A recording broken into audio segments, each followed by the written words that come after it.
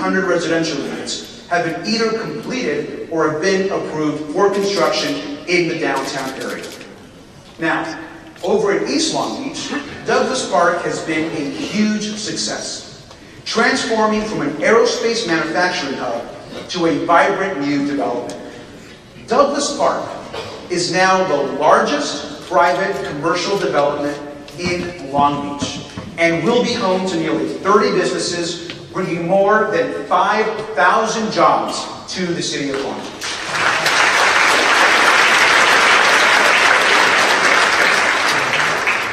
And just last week, we announced that the Nordstrom Rack and Whole Foods are coming to Douglas Park.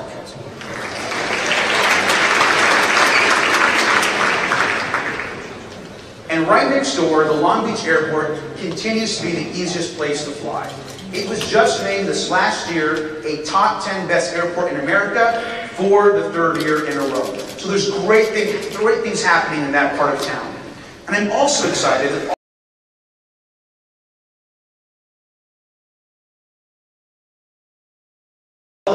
is on track to break ground late this year. Second and PCH will bring new retail and dining options to our city and revitalize one of our key entrances to Long Beach. In Bixby Knolls, Steelcraft is the first container development in our city. If you haven't been, there are great local eateries and a local brewery. And along Atlantic Avenue in Bixby Knolls, you are witnessing a Long Beach success story. 2017 will also be great for North Long Beach, bringing all sorts of new important developments, and along Anaheim and Cambodia Town and Zaferia District. And I want to ask you tonight to join me in thanking the Long Beach City Council. Because all these projects that I just described would not be possible with their relentless leadership and support. So please give them a big round of applause for working so hard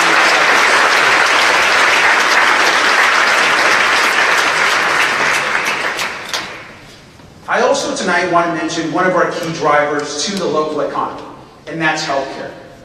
Long Beach has amazing hospitals serving our city and our region.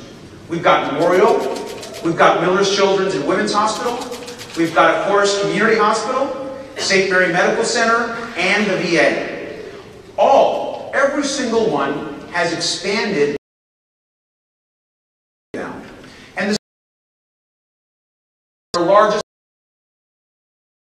Health. Let's thank them for keeping our city healthy.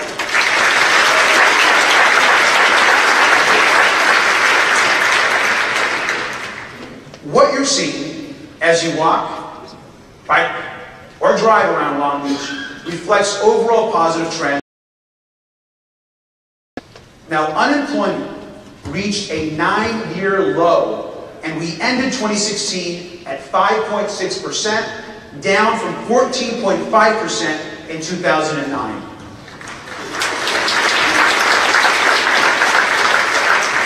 In addition, minimum wage earners received a raise, and we added almost 9,000 jobs to the Long Beach economy just this last year. We also issued nearly 900 new business permits. It was also one of the best years ever for tourism, with 6.8 million people attending Long Beach attractions, generating $26 million for our city budget. Absolutely.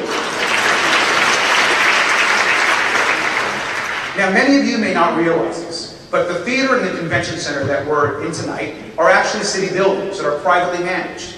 And under the leadership of Steve Goodling and the CVB, and of course Charlie Beirne, this facility is recognized as one of the best facilities in the United States. Under their leadership and working with our arts community, the Terrace Theater and the new Beverly O'Neill Theater have become a true performing arts center by becoming home to all groups across the city, like the Long Beach Symphony, Long Beach Opera, International City Theater, Musica Angelica, Camerata Singers, the Long Beach Ballet, and Musical Theater West.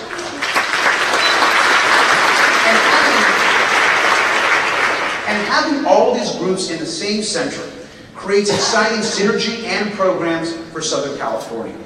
And the recently adopted 1% for the arts will increase support for these groups and other artists and organizations throughout the city of Long Beach. So thank you all for supporting the 1% for the arts, and thank you to the Long Beach City Council.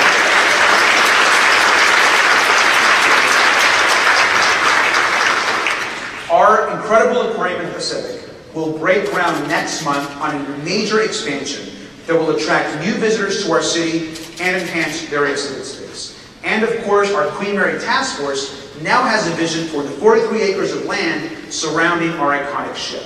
So all this progress is great. But we know there's still more to do, and we want to make it even easier to open and grow a business here locally. That is why I've asked the Economic Development Commission to develop a 10-year blueprint to guide our economic. In March, they will present their blueprint to the Long Beach City Council, which will guide our economic development efforts over the course of the next decade. Let's give them a big round of applause for all of their work.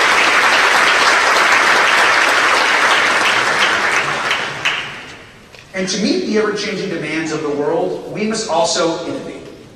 Long Beach has been named a top 10 digital city for the last six consecutive years. For starters, we have over 300,000 of you engaging with us on social media. You also downloaded over 100,000 ebooks and magazines from our new digital library. And we are deploying and we are deploying new technology to all of our departments, including new software to manage our city's fleet, new online construction permits, and the expansion of utility smart meters. So all this is incredible work. Let's give our technology folks a big round of applause for their work.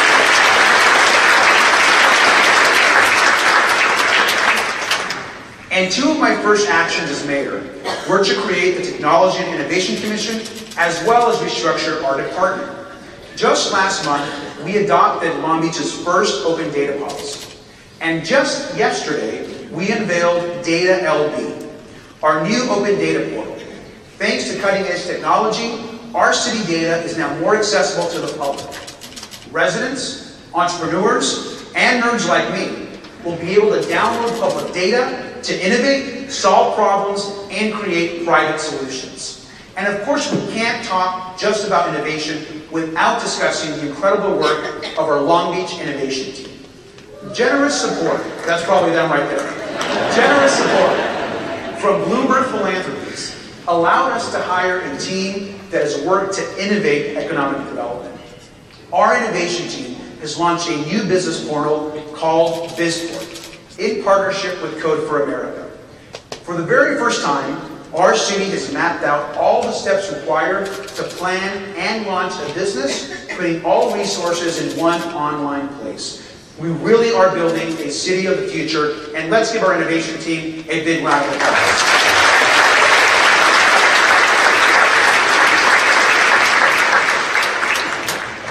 And in order to protect our city and our planet, we also must be prepared to aggressively fight climate change.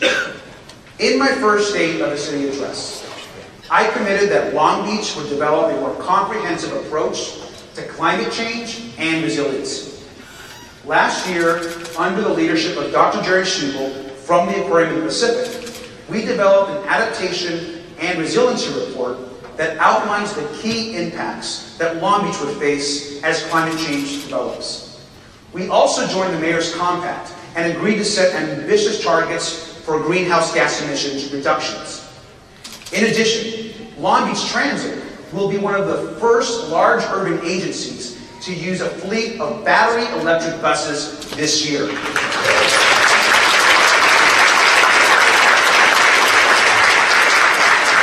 These zero vehicles are the first toward the goal of an entirely clean fleet, clean fleet transit route by 2020 here in Long Beach.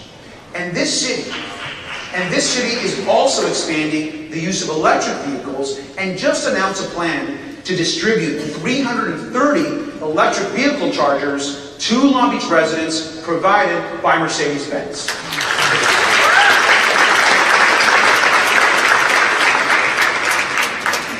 I also want to applaud the Board of Harbor Commissioners for authorizing an unprecedented $46 million mitigation program to lessen the impacts of port-related pollution.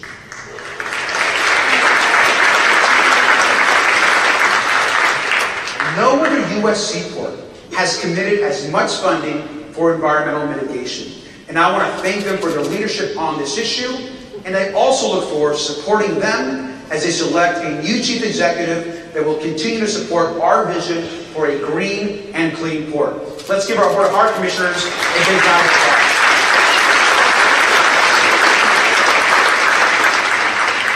And Long Beach is also leading the way in active transportation. In 2016, Long Beach was the only city in Southern California to be ranked in the top 10 nationally for walkability and bikeability.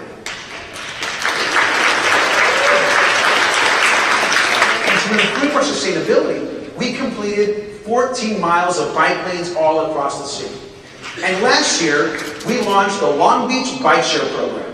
And users using these bikes, which I know you've all seen across the city, took 26,000 trips since the program started. And approximately 80,000 of you and others have participated in our Open Beach Streets festivals. Now, one of our key initiatives is also replacing all city streetlights with energy-efficient LED lights. We've already replaced 9,200 streetlights and expect to replace the additional 15,000 by this October. Our water department, in talking about sustainability, our water department continues to lead the state in water conservation. Total water use in 2016 was 24% less than the 10-year average. Let's give our water commissioners and our department a big round of applause. And earlier this year, we also secured 30 million in grant funding for the design and construction of a new municipal urban stormwater treatment facility. The city is also planting more than 6,000 trees and increasing our solar power infrastructure. I'd also like to report, absolutely, go trees. I'd also like to report that we need to continue to support urban farming efforts and explore ways to move towards zero waste across the city.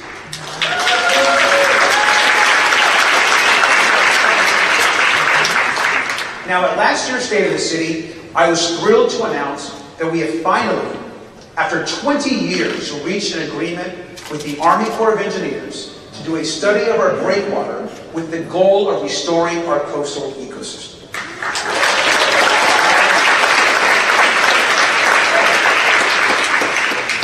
The study began in January, and later this year, the Army Corps will have the options and the models for all of you to review in the community. You have my commitment to fund efforts that will enhance our ecosystem, bring cleaner water to our shoreline, and bring more people to our beaches, while of course protecting our coastal homes and the Port of Long Beach.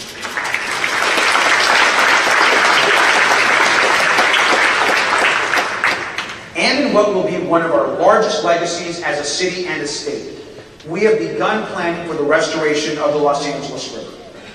We are beginning to reimagine opportunities for nature, recreation, and water reclamation. It's going to be an amazing Let's give them a round of applause.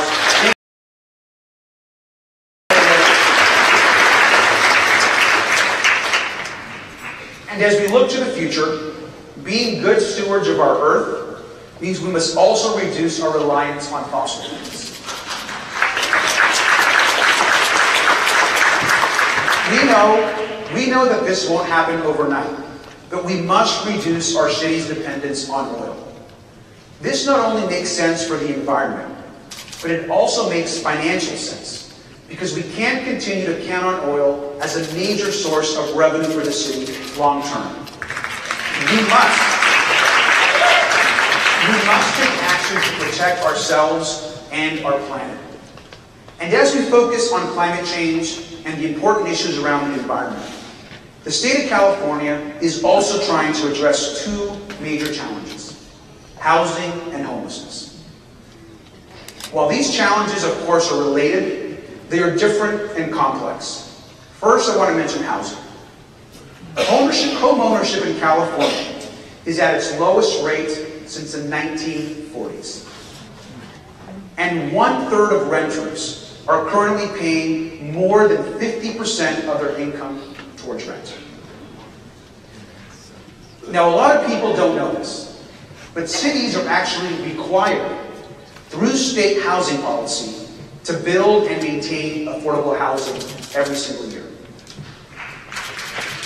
The truth is, the truth is that as we build, we know that we're not going to build much housing in parts of city that are the parts of the city that are already developed. The truth is, suburban communities across East Long Beach and most of Uptown are built out.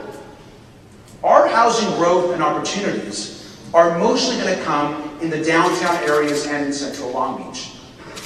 And as you all know, every single day, every single day in our city, we are welcoming new entrepreneurs, engineers, and high-income earners every single day. They're buying homes, they're buying lofts, and they're leasing apartments. And our local economy is benefiting from their investments, and we welcome them. But at the same time, at the same time as we welcome them, we need to ensure that the cooks who are making our meals at our favorite Long Beach restaurants, and the workers who are caring for our seniors, and the workers that are cleaning in our, our hotel rooms, that they continue to have the opportunity to be a part of our community and our city.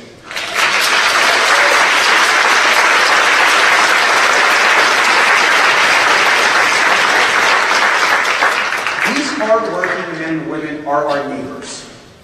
They make our community vibrant, diverse, and strong. Now, we have tried to address this challenge over the, over the last two years by building more than 1,800 new affordable units, preserving more than 2,000 existing units, second, mortgage, second mortgages to low and moderate low income first time home buyers. We need to continue that work, but we can also do more. Over the last year, the city has hosted community forums across the city, and we have assembled a housing study group to address this growing challenge. In February, city staff will be organizing a special city council study session to present the findings from the report and the community. I encourage everyone to get involved and to please remember that our city should be a place for everyone.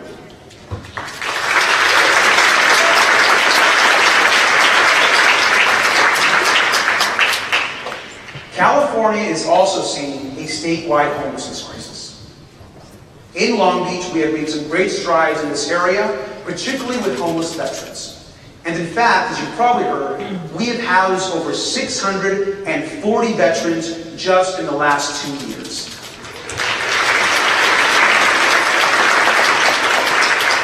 We are, we are one of the few communities across the country where every veteran who falls into homelessness has an opportunity to be placed into a home. But we also know that there's so much more to do. We see what's happening across not just the city, but cities across the state of California.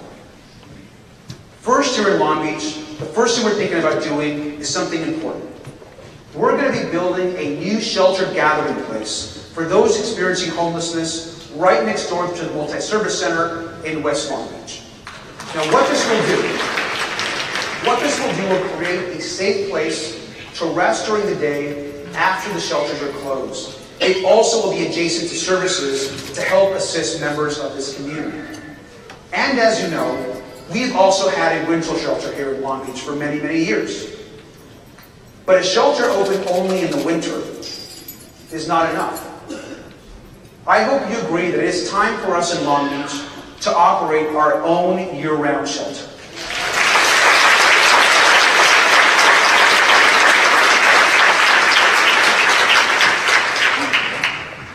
All of the research, all of the research around this issue shows that immediate shelter and housing first is the first and most important step to permanent housing.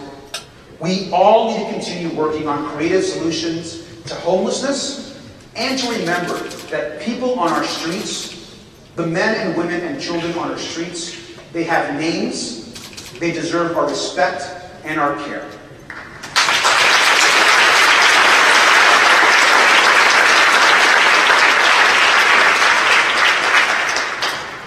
Now, I also want to say a few words about what holds the key to our future, and that's education.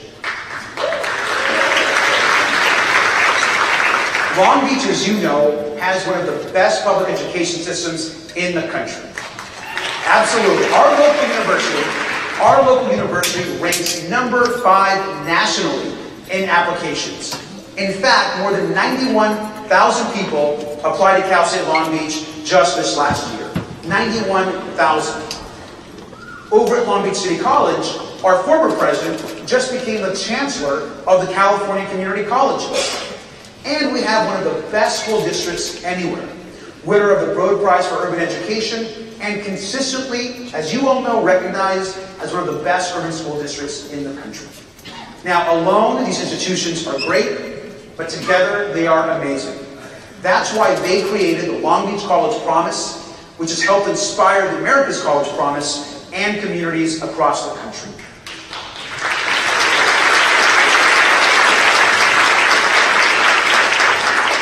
In the last two years, we have increased internship spots from 1,500 to 3,800. We have also added more than 900 public preschool seats. And just last week, we launched the Mayor's Fund for Education to ensure that every single family across our city has access to a quality preschool and early childhood education.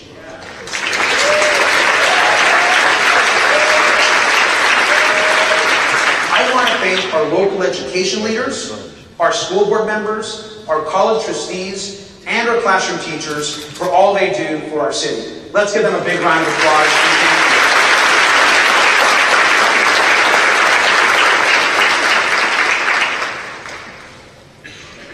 And before I close tonight, I want to introduce you to one of our residents. His name is Gus Orozco.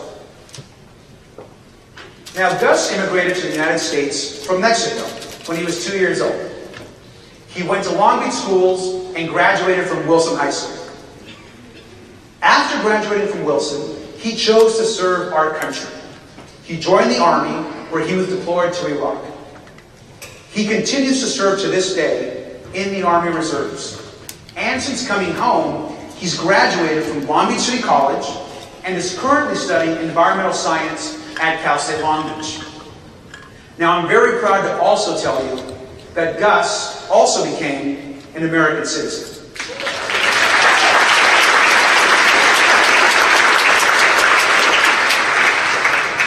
Gus represents the best of our nation. An immigrant living the American dream in a nation built by immigrants. He's making our community better every single day. Now, Gus is here tonight, so please join me in thanking Gus for everything for our country.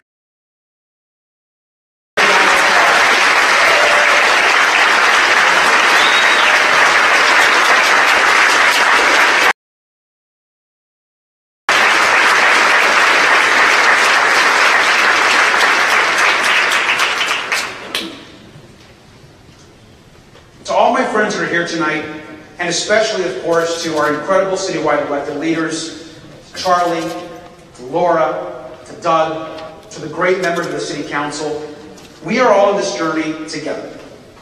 Let's support each other. Let's help our neighbors. Let's help the poor in our community. And let's lead with caring hearts. I know together that all of us can continue to build an even better Long Beach. We, I believe, are America's greatest city. And I couldn't be more proud to be your mayor. So I want to thank you all for being here. God bless you. God bless our country. And God bless Long Beach. Go Long Beach.